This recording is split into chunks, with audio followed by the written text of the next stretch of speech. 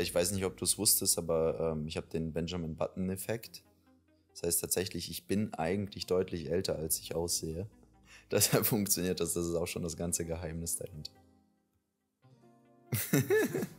Wie bekommt man es hin, ernst genommen zu werden?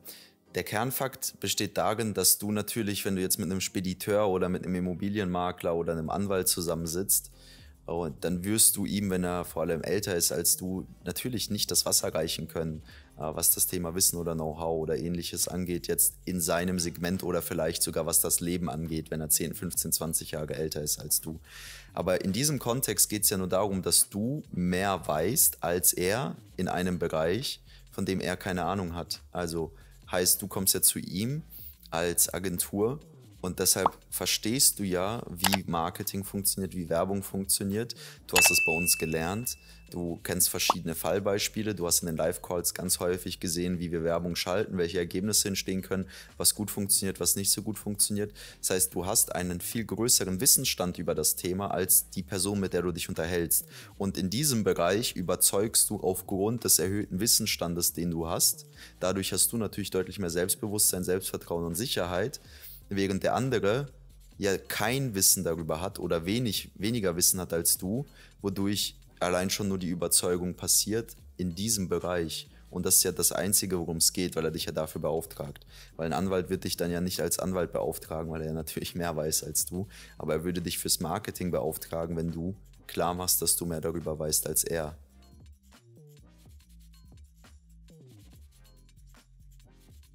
Das funkt, also die Überzeugung passiert über Kommunikation. Also sowohl verbale als auch nonverbale Kommunikation. Nonverbal ist, wie verhält sich dein Gesicht, Gestik, Mimik etc. Und verbal ist, was sprichst du und wie sprichst du das. Und wir Menschen spüren ja, ob wir jemandem vertrauen können oder nicht. Wir spüren ja, ob die Person Ahnung hat von dem, von, von was sie redet oder eher nicht, zumindest eben aufgrund von der verbalen und der nonverbalen Kommunikation und natürlich dann auch teils von dem Inhalt der darin ist. Und das, du musst wissen, dass du mehr weißt als er.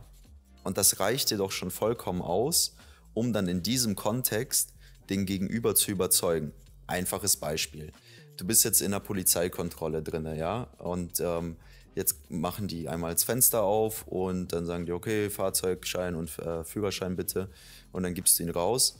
Und danach sagt er zu dir, hey, ähm, alles klar, musst mal kurz rausfahren, ähm, wir würden jetzt einmal kurz einen Urintest machen.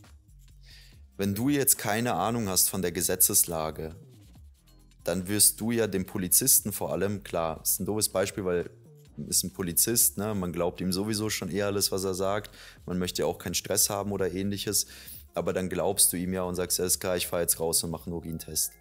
Wenn du jetzt aber eine, die Gesetzeslage kennst zum Beispiel, dann weißt du ja auch, dass du diesen Urintest verweigern darfst. Mal zum Beispiel, ich kenne mich jetzt nicht mega aus damit, ne, aber als Beispiel, du wüsstest ja, dass du ihn, also dass du ihn verweigern könntest, dann wüsstest du, dass die Konsequenz daraus ist, dass sie dich entweder weiterfahren lassen oder dass sie sagen, alles klar, dann kommst du mit auf die Wache, so, um einen Bluttest zu machen. Auch den Bluttest könntest du verweigern und dann müssten die erstmal einen Gerichtsbeschluss besorgen, um dich dann mehr oder weniger gerichtlich dazu zu zwingen, weil sie einen Tatverdacht haben, einen Bluttest zu machen.